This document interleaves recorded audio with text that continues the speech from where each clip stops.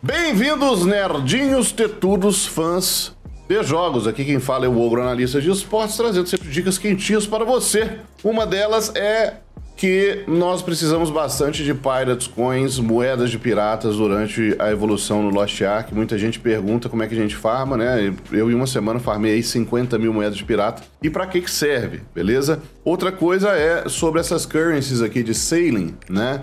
É, Giena Coins, Arturos, etc. Eu vou falar um pouquinho para vocês, principalmente sobre Giena Coins e Pirate Coins, então, que são as primeiras. Sobretudo, como é fácil farmar Pirate Coins dependendo de onde você vai, dependendo da diária, né? Tem várias diárias aqui que te pagam em Pirate Coins, tem diária da Black Fang, etc. Elas têm recompensas, né? Depois que você passa de nível, ó. Peito te dá é, Pirate Coins, depois você ganha mais Pirate Coins, depois mais Pirate Coins, 16 mil no final. O The Defense aqui, The Champion, no primeiro nível 17 mil, depois 19 mil, depois 36 mil. Você vai acumulando Pirate Coins pra caramba, né? Fazendo essas diárias, ó. Sea Cleaner, 6 mil, 8 mil, 16 mil, e aí vai. Inclusive, o navio de pirata, se você quiser fazer, o navio Astray, ele precisa que você pegue 300 mil Pirate Coins. Tá? Então, de recompensa aqui nas diárias, para você alcançar essas recompensas, você vai fazendo. Por exemplo, essa, essa quest aqui em peito, né? Marine Taxi Driver. Eu fiz ela três vezes. Aí você acumula aqui 30 na barrinha, e aí você faz esse claim, e aí eu ganhei lá as 6 mil Pirate Coins do, do primeiro nível aqui. Entendeu? Outra coisa que ajuda muito, principal fonte de Pirate Coins no começo são as ilhas da parte sul aqui, do lado de Isla Lutera, tá? Que são ilhas de pirata. Então tem Ilha da Remanescência, tem Lost City, que é uma ilha de tesouros, e sobretudo essas duas aqui, tá? Freedom Island, Black Fangs Den, uh, Atlas. São essas primeiras ilhas aqui, elas dão muito, tá? Elas dão muita recompensa em Pirate Coins. Serente, às vezes você faz quest amarela nelas, né? Eu recomendo fazer todas, inclusive. Wisdom, eu não lembro se dá, mas a quantidade de Pirate Coins que você pega é fácil você fazer todas essas ilhas e sair daqui com cerca de 20, 30 mil de Pirate Coins. Você vai precisar de Pirate Coins para usar em vendedores para conseguir coração de ilha. Você vai precisar de 16.500 Pirate Coins num ponto crucial do jogo, que é aqui a hora de vir em peito, que é o cruzeiro, aqui o navio de cruzeiro, e comprar uma das é, canções mais importantes do jogo, que é a gloriosa Song of Resonance. Song of Resonance é a canção que mais abre passagem secreta no jogo, tá? Open Hidden, Spa Open Hidden Spaces. Forest Minuet é outra que abre passagem secreta pra caramba, sobretudo para pegar Mococo. Então, é, cara, você vai precisar farmar essas Pirate Coins.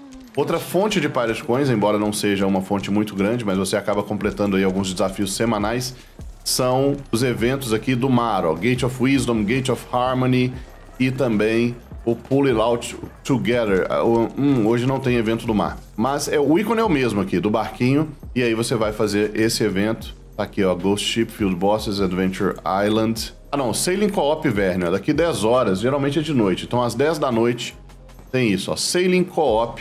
E você vai fazendo tanto Sailing Co-op, quanto você pega também a quest semanal de Sailing, a Gift from the Sea. Então, você completa a quest semanal, ganha materialzinho ainda farma essas gloriosas moedas de pirata. Então vou mostrar para você também, além de coração de ilha, coração de gigante, sobretudo Hiena Coins, tá? Hiena Coins você usa para comprar muito coração de gigante, que é um outro colecionável, e Masterpiece, que são os quadros, né?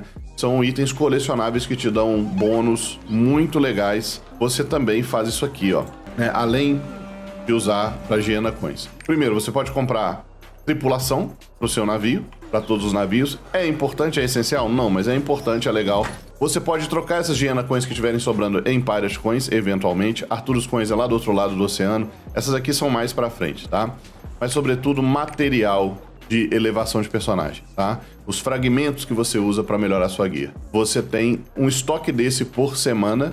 No meu personagem principal eu comprei esses todos aqui também, a partir do momento que você passa da guia 800 e para tudo isso você precisa de Pirate Coins. Então é importantíssimo que você farme Pirate Coins pra caralho, tá bom?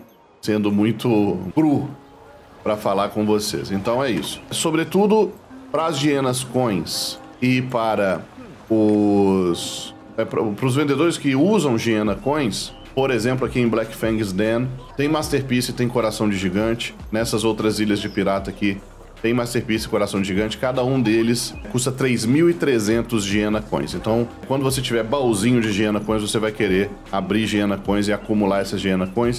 Se você não for usar para frente, geralmente usa, você pode transformar em moeda de pirata também e ter um bom balanço aí de moeda de pirata, beleza? Espero que tenha sido útil para vocês, espero que vocês tenham gostado. Deixe o seu like, compartilhe, se inscreva no canal. Lives todos os dias em twitch.tv jogue como ogro. Um beijo do ogro, nosso conteúdo é diferente.